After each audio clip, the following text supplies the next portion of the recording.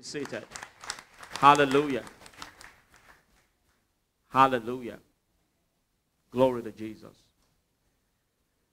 Now, I'm going to share very briefly this morning on the power of thanksgiving, the mysterious power of thanksgiving. And after that, we are going to, you know, spend some time to give thanks to God. I want you to realize that um, being a Christian is a very interesting thing. And if you really want to be a successful Christian, then you need to understand what it takes to be a successful Christian and what Christianity is all about. The Bible tells us something in the book of Revelation, chapter 5. I want us to look at it. Revelation, chapter 5, and verse 10. The scripture tells us this that He has made us unto our God kings and priests. Everybody say kings and priests. Do you see that? Can we read this together out loud? One to go. And kings. Oh, they changed the translation. Okay, let's read this one. It's still the same thing. And you have caused to become a kingdom of our God and okay I, I, I, like king james better so let's have it in king james um, king james says and has made us, let's read this, one to go, and has made us unto our God, and we shall reign on the earth. Somebody say, I am a king, and I'm a priest. So you are sitting beside a king today. You are sitting beside uh, a priest today. Amen. There are no coins. Sorry. Because I know some of you will say, I'm, I'm a coin. No. Sorry, there are no coins. Kings. Everyone say kings and priests. Say that one more time. Say that one more time. Now, when are we going to become kings and priests? When? Who knows when? Huh? When is it going to happen? Has it happened? I said, has it happened? The Bible said he has what? He has made us. Now, can you be bold about it and say, I am a king and I'm a priest unto God. Wow. Now, how many of you come naturally? You come from a royal family. Naturally. Your father is a king, earthly king now. Or, uh, you know, you have some royalty. Anybody? You, you do? Okay, how many of you actually lived in a king's palace? Okay. I reckon not, you know. Yeah. I'm talking about if you actually lived in a king's palace. Okay, you so you observe the protocols of kingdom and rulership and how things are done in the palace.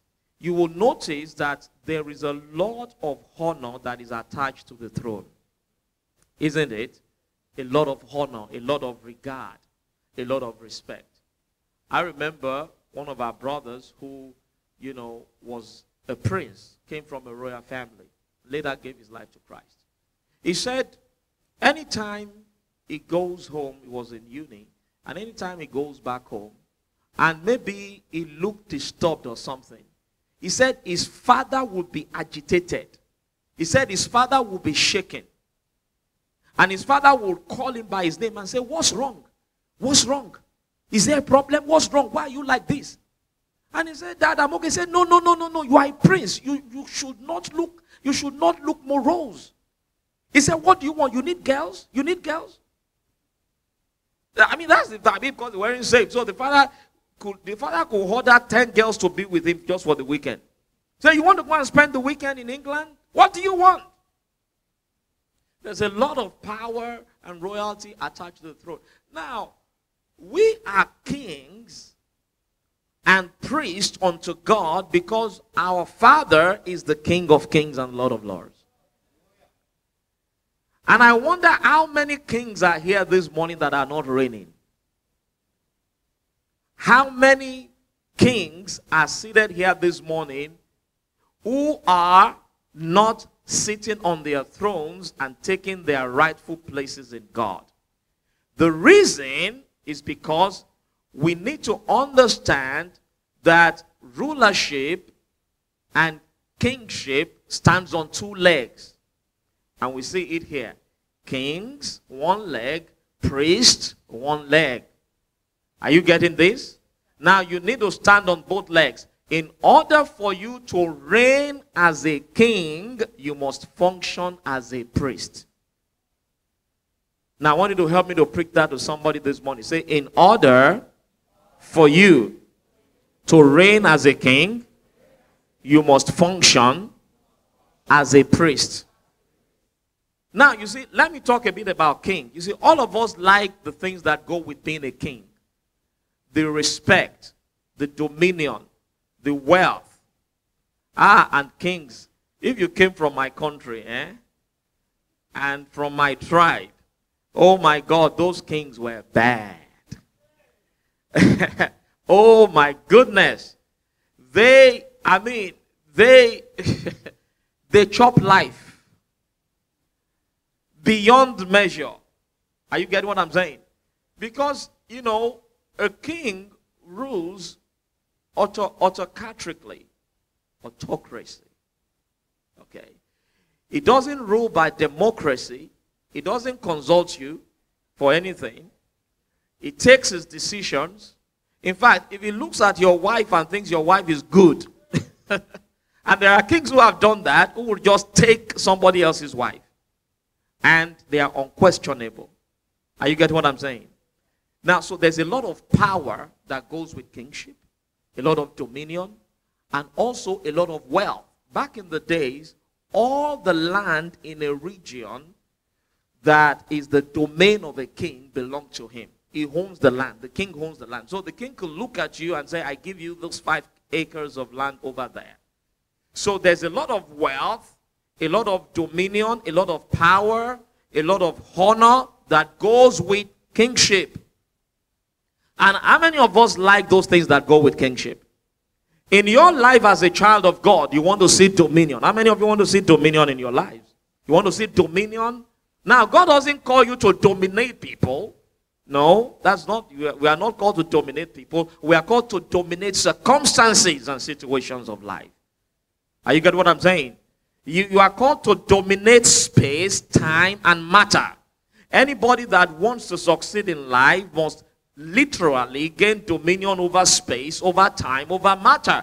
Now you are called to dominate. You, you are called to possess. You are called to have the power to get wealth. How many of you like that? Power to get wealth. Wow. We like everything that goes with kingdom. Kingdom means that any realm of life where God places you, you have dominion in that area, in that sphere. So if you are in the if you are in the medical field, you are you you become your best. If you are a business person, you dominate that realm for Jesus. If you are a teacher, you dominate that realm for Jesus. God does not want Christians to be under. What does the Bible call you in Matthew chapter 5 verse 16? It said you are the light of where? Your village. The light of where? The light of where? What does that tell you? That means you are a global entity. Tell three people and say, I'm not local, I'm global. Uh huh. Uh huh. You see, I know those who are really global. I know they will say it. I know some of you are satisfied with a local mentality, with littleness. You know, you know, it's very interesting that this is 2021, and some people's vision is just to have a nice house and two cars. That's the limit, that's the zenith of their vision, just to be comfortable. So, as long as I have a house and I'm paying my mortgage, I'm good. Come on! Tell somebody and say, Wake up and smell the coffee. God has something bigger for you than that. Dominion. All right? So now remember where I'm coming from. I'm not going to take time. I want to, you know, just, you know, put some things through to you. This thing is standing on two legs. Somebody say two legs. What is leg number one? What is leg number two? Leg number one. Leg number two. Number one. Number two. Okay. Now, we like everything that goes with being a king. We want to have dominion, wealth, authority, power, beauty. You want to dominate circumstances, but it's not going to happen until you have your second leg, which is to be a priest. The priest dimension means that you have a relationship and intimacy with God. That is what gives you legitimacy and authority on the earth. Do you understand it now? So, back in the days, the priest offered sacrifices to God. Are you get what I'm saying? He brought what? Sacrifices. Everybody say sacrifices. Are you feeling cold this morning? Amen. So the priest brought sacrifices. And you know, while I don't want to, you know, take you into a lot of theology, I'll just make it simple that two main sacrifices that the priest brought to God in those days number one was burnt offerings, and number two was incense. The incense represented prayer, and the burnt offerings represented praise and thanksgiving unto God. Are you getting this? And the Bible says, if you are going to reign on the earth, you know, some of you want to get to heaven to reign. What are you going to reign over in heaven? Are you going to reign over God or reign over angels? This is where you are going to reign. Where are you going to reign? I said, Where are you going to reign? I said, Where are you going to reign? This is where you are going to reign.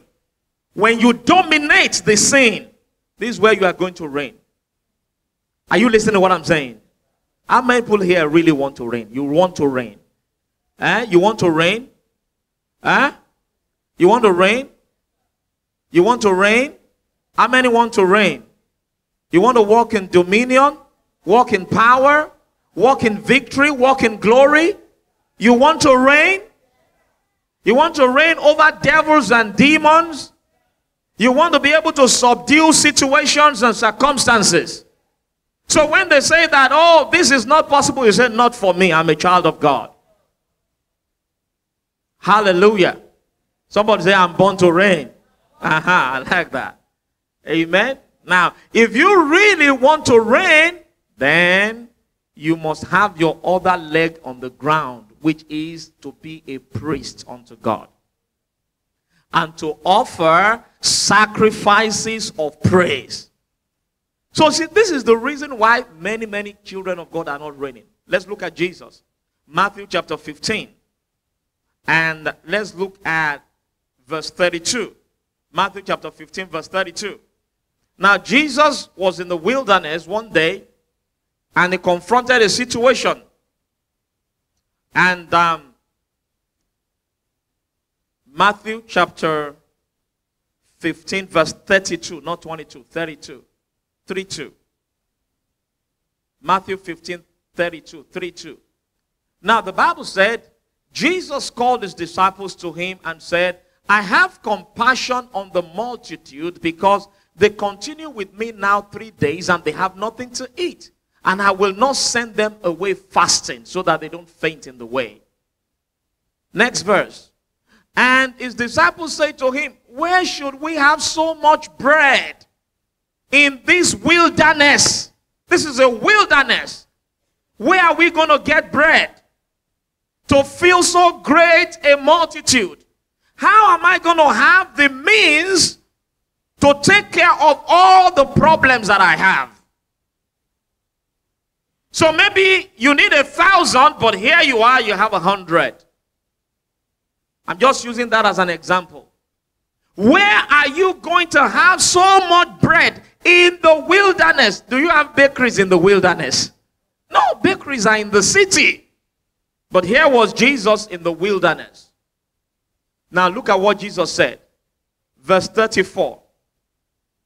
And Jesus said to them, How many loaves do you have?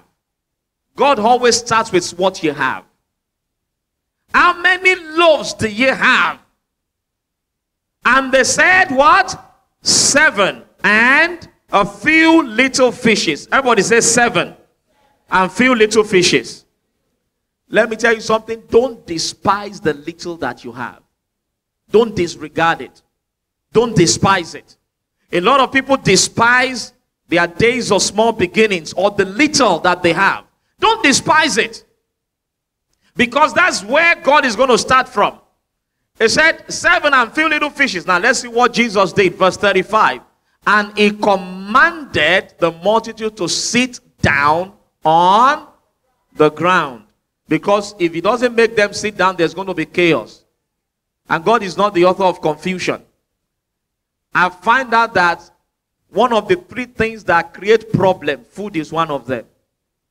Don't ask me the remaining two. But out of three main things that create problem, food is one of them. How many of you agree with me? And so, Jesus said, sit down. I want you to know that God is a God of order. And if God is going to bless your life, you have to have order in your life. A lot of people are disorderly and they expect the blessings of God. Jesus said, Make the people sit down. And then look at what he did. Next verse. And he took the seven loaves and the fishes and did what? And gave thanks. He gave thanks. Somebody, can you lift your right hand to heaven? Say, Father, thank you for the little that I have. Thank you for the few dollars in my bank account. In the name of Jesus. Put down your hands. He said he gave thanks and then he gave it to his disciples and the disciples gave it to the multitude. And then what happened? In verse 37, the Bible said, and they did all eat after Jesus gave thanks. Now, you would think that when Jesus gave thanks, it's just like they just handed over the seven loaves and just said, Father, thank you in the name of Jesus. you know. And just said something, just mumbled something in two minutes, and you know, and then he gave it to the disciples and they, you know, started to distribute to everybody else. No, it wasn't like that. I want you to understand that Jesus' lifestyle was a lifestyle of thanksgiving. This is the picture of who Jesus is in private. This is his private life. His private life was a life given to thanksgiving, worship, praise, not complaining, not murmuring. Are you, are you hearing what I'm saying? A life of, of giving thanks always. Even for seven loaves and few fishes. Even for little things and little blessings. What do you do when you ask God for healing for your physical body. And then you find out that the pain reduced. And if they ask you and said, What is the level of pain from 0 to 10? 0 being the lowest and 10 being the highest. You said, mm, It's like 3 now. I'm not quite there yet. Can you thank God for that 3? Or are you going to say, I wasn't healed? One day Elijah was praying for rain and praying for rain. He had been praying for 18 hours. After praying for 18 hours, he told his servant, Go and check. Is something happening? And the Bible said the servant went, came back. He said, There's nothing. He kept sending him back. Every few hours, he sent him back. After about 18 hours, the Bible said the servant went and the servant came back with a report. He said, There is a cloud appearing, but the cloud is so small. It's just the size of a man's hand. And Elijah said, Yes, that is it. That's what we need. Go and tell the king, rain is coming. He said, But it's only a little cloud. If you don't know how to thank God for the little cloud, you can't see a deluge. People who don't know how to thank God for his finger never see his hand. And those who don't know how to thank God for his hand never see his outstretched hand. If you learn to give thanks to God for the little, then it's going to graduate to much. The Bible said they all ate and were filled through thanksgiving. And they took of the broken meat that, that was left seven baskets full. so they ate, they were filled, and they had left over. Now, that is the kind of blessing that God is giving to you today and giving to you this month in the name of Jesus Christ. Let me tell you, I'm telling you what to do not only when you are inside the church. When we are inside the church, you know, you can mumble some praise and mumble some thanks, but do you live a life of thanksgiving every day, every hour, every minute? I'll tell you four things that Thanksgiving will do for you. Number one, Thanksgiving will multiply your blessings. Thanksgiving is a multiplier. Everybody say with me, say Thanksgiving is a multiplier. You see that? Now, can we can you give us John chapter 6 and verse 23? Let's look at this. I'm looking at somebody this morning. In the month of June, your blessings will multiply. Somebody lift your two hands to heaven and say, Father, multiply me. In the name of Jesus. What is multiply? If you have 10 and it's multiplied, how much is that? Is it going to be? Huh? If you have 10 and God multiplies your 10, what is it going to be? Huh? Huh? 100. If you have 100 and it's multiplied, what does it become? oh my God. What did you score in mathematics? All right? Multiply. Okay. Let's look at John chapter 6, verse 23. John 6, 23. And I want us to go through this and then we're going to practicalize this scripture. Now let's all read this together. Everybody, one to go. Howbeit, there came other boats from Tiberias near unto the place where where they did what? They did what? Uh-huh. They ate bread when? They had bread when? Everyone say after. Say, say it again. Say after. When did they eat bread? When did they eat bread? Now, after what? When will you eat bread? After you have given thanks. You know, some people want to eat bread first, then they say, Thank you, Jesus. But no, you are not going to eat bread like that. They ate bread after the Lord had given thanks. The Lord gave thanks first, and then the supplies came. Now, don't tell me you can't do that. Don't tell me you can't do that. Don't tell me that you can't give thanks in your down moments. Thanksgiving is a choice. You can choose to live a life of thanksgiving or a life of complaining. The power of God will come upon you today so that you live a life of perpetual thanksgiving. Somebody say, Father, thank you because all my needs are met. In the name of Jesus. Listen, have you ever locked up yourself for two to three hours just to give thanks to God and praise Him? Have you ever said to yourself, I'm not going to pray about this matter? I won't bind any demon. I'll just give thanks. You can try it this week. You say, What am I supposed to do? Play some nice songs on your phone and dance. If you have a doctor's report, put it on the floor, dance around it. Anything that's a concern to you, dance around it. Is somebody listening to what I'm saying? The Bible said they ate bread after the Lord had given thanks. The little that they had multiplied after God gave thanks, after Jesus gave thanks, sorry, to God, after I gave thanks to God. Can you lift your hands to heaven and say, Father, thank you in the name of Jesus. I'm grateful to you, Lord. I give you thanks. I give you thanks. I give you thanks. I give you thanks. I give you thanks. I give you thanks in the name of Jesus. That is what to do consistently on a regular Give thanks, give thanks, give thanks. Let it be part of your life. You are driving to work, you are giving thanks. Do you know what Jesus did when he got to the tomb of Lazarus?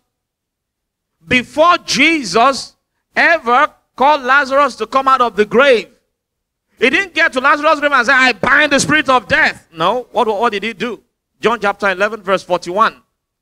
John 11 41. The Bible says, can you give it to us? John 11 41. The Bible tells us they took away the stone from the place where the dead was laid. Can we read on? Let's read one to go. And Jesus lifted up his eyes and said, Father, I thank you that you have heard. This was before he even prayed. I thank you that you have heard me. No wonder the Bible tells us in the book of Philippians, chapter 4, I believe, verse 6, it says, Be anxious for nothing, but in everything, by prayer and supplication, with thanksgiving, let your request be made known to God. You start your prayers with thanksgiving. You wrap thanksgiving around it. You hand it with thanksgiving. That's how you do it. Thanksgiving is a multiplier. Number two, thanksgiving sanctifies. Thanksgiving is a sanctifier. Thanksgiving cleanses and purifies, dedicates and consecrates. God cannot touch any problem until it is sanctified. How do you sanctify it? First Timothy chapter 4, verse, let's look at verse um, verse 3. First Timothy chapter 4, verse 3. First Timothy chapter 4, verse 3. Uh, in fact, let's take it from verse 4 for time's sake. For every creature of God is good, and nothing is to be refused if it is received with thanksgiving. Why?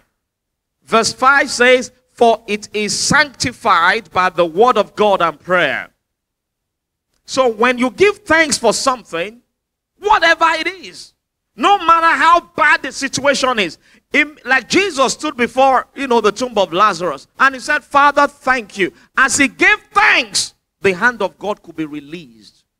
Because thanksgiving sanctifies. Until that situation is sanctified, God cannot get involved with it. And what gets God involved is your thanksgiving. What sanctifies it is your thanksgiving. The Bible said it is sanctified by the word of God and by prayer.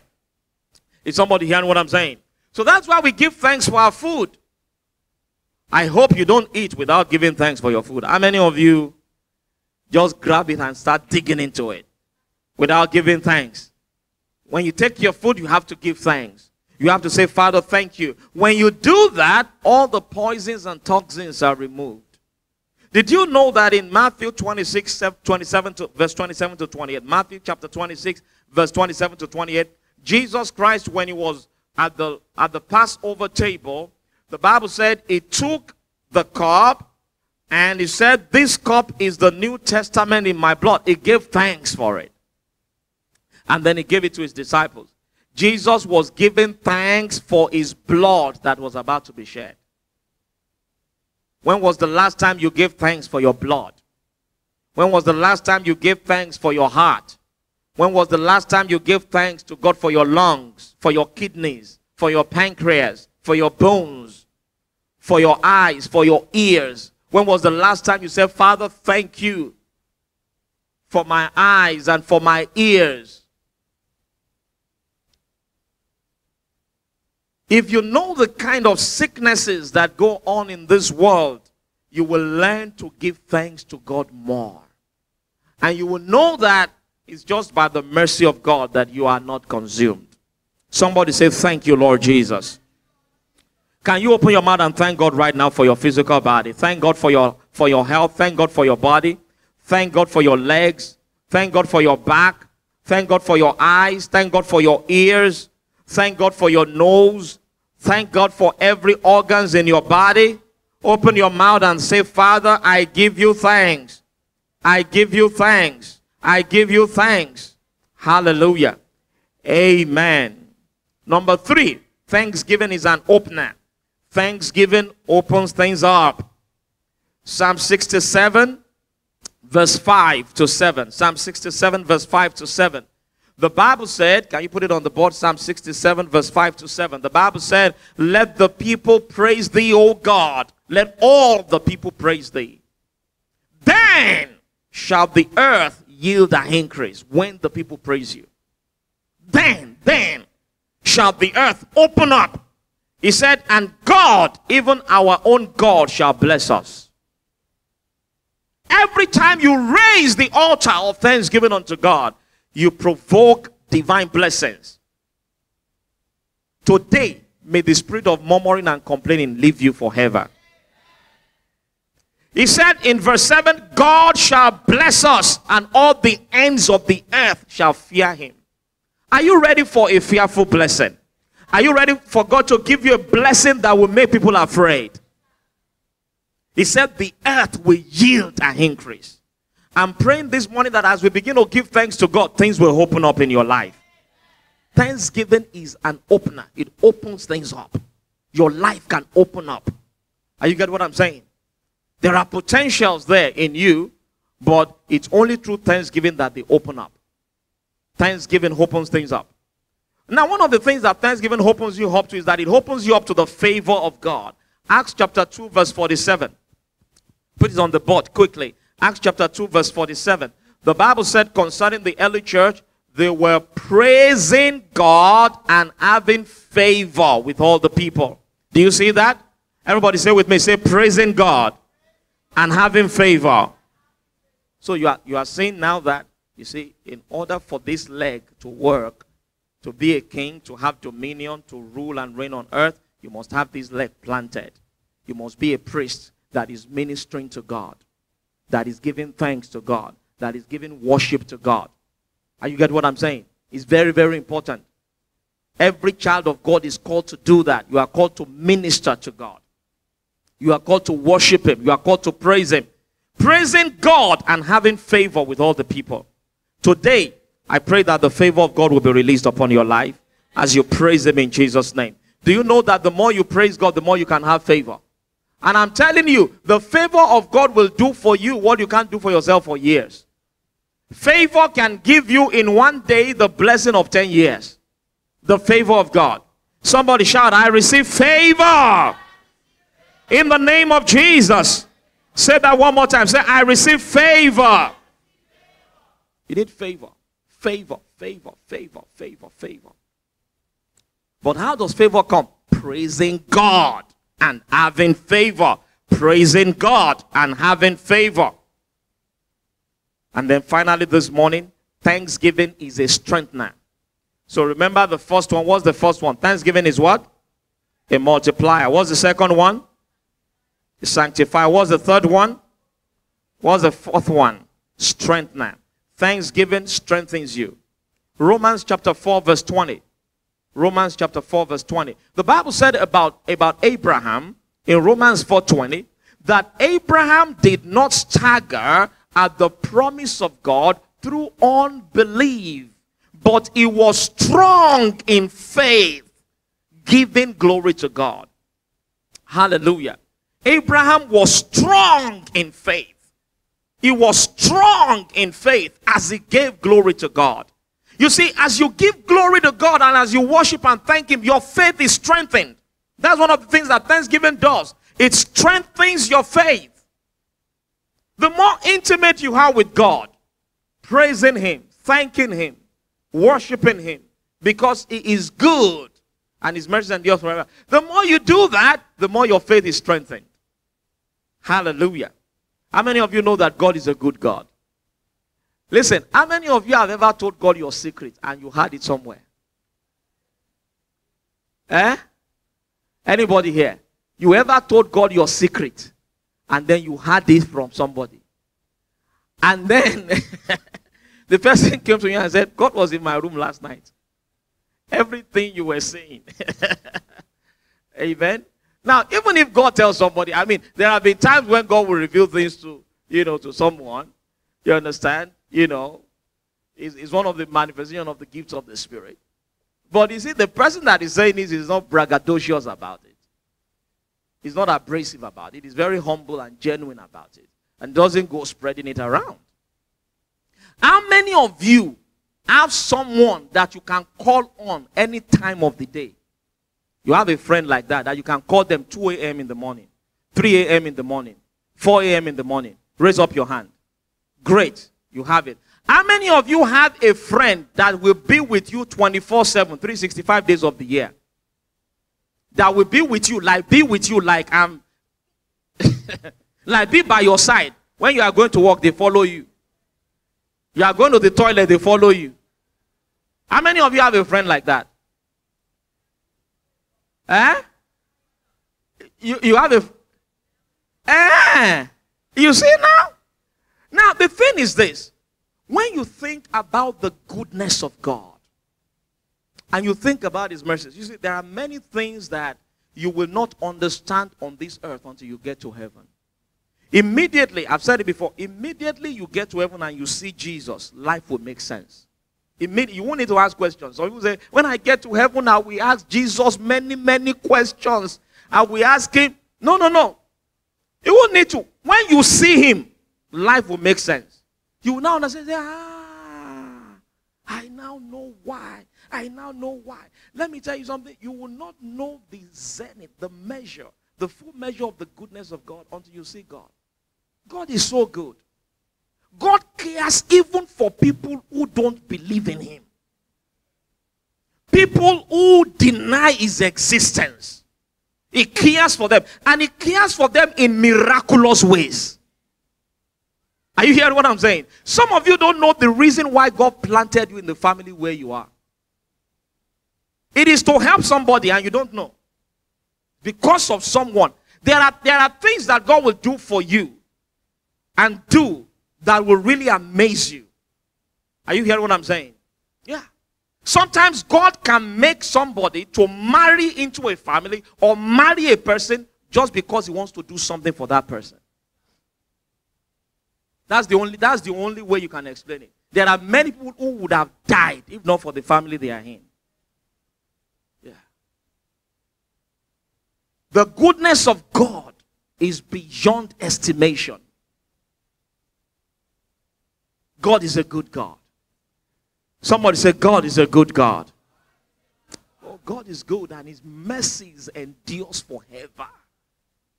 Only someone that can reason will be able to know the mercies and the goodness of God. The Bible said concerning Abraham that Abraham did not stagger the promise of God through unbelief, but was strong in faith as he gave glory to God. Your faith can be stronger today than it was yesterday through thanksgiving. Hallelujah. Do you know the reason why Abraham was able to sacrifice Isaac? God told him, Take your son, your only son, and go and sacrifice him. Now, that was a child he waited for for 25 years. The closest to it today is God telling you and say, Take your whole salary and go and put it on the altar. Look at the way some of you shouted. Say, Hey! What about the man that God said, Take your only son? Now, and the place where God told him to sacrifice was three days' journey, 72 hours. So the guy had three days to change his mind. And with every step he was taking, something was telling him, Are you, are you crazy? Are you sure you want to do this? Remember, you waited for this child for 25 years. Are you going to give him up just like that? You know why Abraham could go to Mount Moriah and why he could attempt to sacrifice the boy because Abraham believed that God can raise him up. He had that faith. Abraham believed that if I put a knife to the neck of this boy, God will raise him back to life. Now, that is faith. Come on, talk to me, somebody. I said, that is faith. How did Abraham get that faith? The Bible said, by giving glory to God. Somebody open your mouth and say, Father, I give you the glory. That's how he got it. By a life of thanksgiving and praise. You say, I didn't know that Abraham praised God. Oh, you didn't read your Bible very well. Many times when the Bible said Abraham raised an altar to God, what was he doing? It was an altar of thanksgiving and praise unto God. Hallelujah. Glory to Jesus. There are three people here today. The Spirit of God is telling me to tell you. He said, Go ahead and do a big thanksgiving before what you are expecting comes. And what you are expecting will come. As I said that word, it will resonate with your spirit. He said, go ahead, do thanksgiving. Just come and say, I want to do thanksgiving. Yeah. said, and what you expect will show up. Abraham was strong in faith by giving glory to God.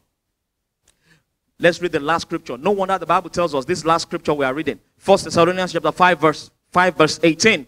He said, In everything. First Thessalonians 5:18. First Thessalonians chapter 5, verse 18. He said, In everything give thanks. In how many things? Come on, talk to me. In how many things? What is the definition of everything? Everything. Give thanks. Now, you may not be able to give thanks for everything. But in everything, the first thing you do is thank you, Jesus. Thank you, Jesus. Thank you, Jesus. In everything, give thanks, for this is the will of God concerning you in Christ. Some, somebody say, Oh, I want to know the will of God. What is the will of God for my life? This is the will of God. In everything, give thanks. Then look at the next verse, verse 19. He said, Quench not the spirit. What does that mean? It means this if you don't give thanks and live a lifestyle of thanksgiving, you are going to stifle and extinguish the fire of the Holy Spirit in your life. Do you wonder many times why you feel dry spiritually? Why you can't pray? Why you open your mouth and it's very heavy? It's because you've not been thanking God. You've not been in thanksgiving. But let me tell you something thanksgiving aerates your spirit. As you give thanks to God, your spirit becomes loose, released, fluid. Are you, are you listening to this? You just find out that there's that flow why? Because God inhabits the praises of his people. It dwells in that atmosphere. Now, if you don't create that atmosphere of thanksgiving, you are going to quench the spirit. You, you're going to quench the spirit. You are going to stifle the Holy Spirit. You are going to extinguish him. You are going to suppress the divine influences in your life. So these are the things that Thanksgiving does for you. What's the first one again? What's the second one? What's the third one? What's the fourth one? M S O S. Rise on your feet.